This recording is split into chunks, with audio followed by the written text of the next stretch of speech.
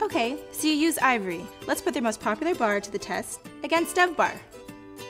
First, I have to wet the bars with warm water, just like a shower.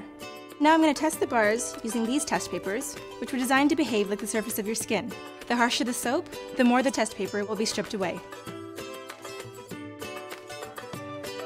The first time I saw it, I was really shocked. Look at the ivory bar soap. If it can do that to test paper, imagine what it could do to your skin. The Dove doll is still pretty much intact. It's hardly been stripped at all. If this doesn't convince you, I don't know what will. So, I bet you want to try out the Dove bar now, right?